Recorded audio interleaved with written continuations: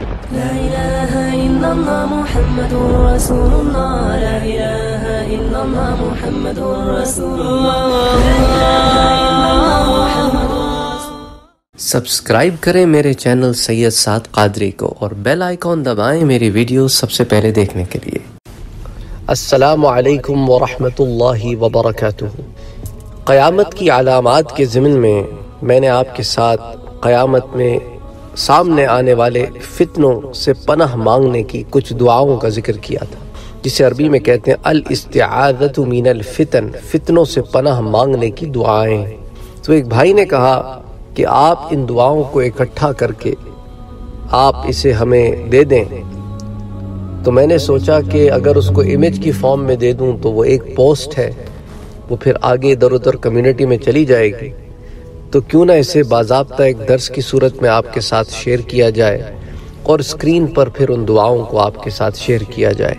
پہلی دعا، یہ متفقن علیہ حدیث ہے، اسے امام بخاری اور امام مسلم دونوں نے روایت کیا ہے۔ حضرت عائشہ صدیقہ رضی اللہ تعالی عنہ اس کی راویہ ہیں۔ فرماتی ہیں کہ رسول صلی اللہ علیہ وآلہ وسلم نے نماز میں درود شریف کے بعد یہ دعا مانگا کرتے تھے۔ اللهم إني أعوذ بك من عذاب القبر وأعوذ بك من فتنة المسيح الدجال وأعوذ بك من فتنة المحيا والممات. اللهم إني أعوذ بك من الماثم والمغرم. اللهم إني أعوذ بك من عذاب القبر. أي الله من قبرك عذاب سے پناہ مانگتا ہوں وأعوذ بك من فتنة المسيح الدجال. اور دجال کے فتنے سے پناہ مانگتا ہوں۔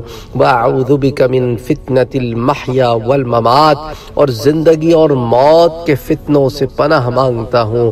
اللہم انی اعوذ بِكَ مِن الْمَاثِمِ وَالْمَغْرَمِ اور پناہ مانگتا ہوں گناہ اور قرض سے۔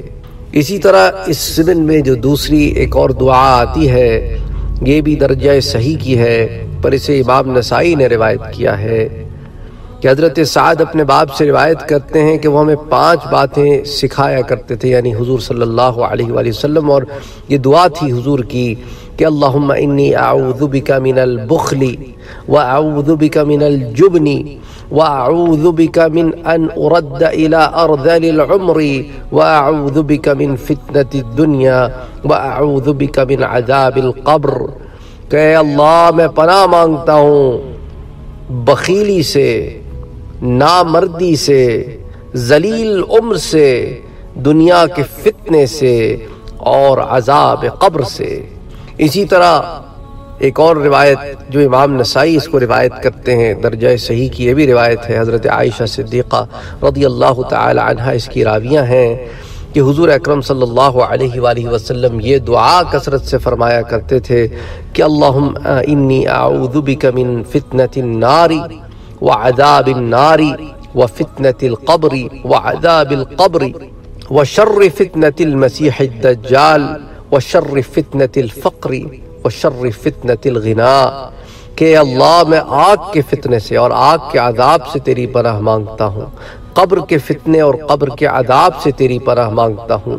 اور فتنہ فقر کے شر سے اور فتنہ غنا یعنی دولت مندی کے شر سے تیری پناہ طلب کرتا ہوں۔ السلام علیکم ورحمۃ اللہ وبرکاتہ۔ اگر آپ نے ابھی تک ہمارے چینل کو سبسکرائب نہیں کیا ہے تو سبسکرائب کا بٹن دبائیں، بیل کے آئیکن کو پریس کریں تاکہ آپ کو ریگولر نوٹیفیکیشن اپڈیٹ مل سکے اور آپ ہمیں ہمارے لائیو سیشنز میں بھی جوائن کر سکیں۔ ویڈیو پسند آنے کی صورت میں لائک شیئر اور کمنٹ کرنا نہ بھولیں۔ اگر آپ مجھے کانٹیکٹ کرنا چاہتے ہیں تو دیے گئے ای میل ایڈریس پر آپ مجھے ای میل کر سکتے ہیں۔ اسی طرح آپ ہمارے ٹویٹر کے اکاؤنٹ کو جوائن کر سکتے ہیں۔ انسٹاگرام پر آپ ہمیں فالو کر سکتے ہیں۔ اور فیس بک پر بھی آپ ہمارے ایک سے زائد پیجز ہیں۔ ایک انگلش میں، ایک اردو میں انہیں فالو کر سکتے ہیں۔ تو اگر آپ کو کوئی سوال ہے تو آپ یوٹیوب پر بھی پوچھ سکتے ہیں۔ اور ان اور مختلف پلیٹ فارم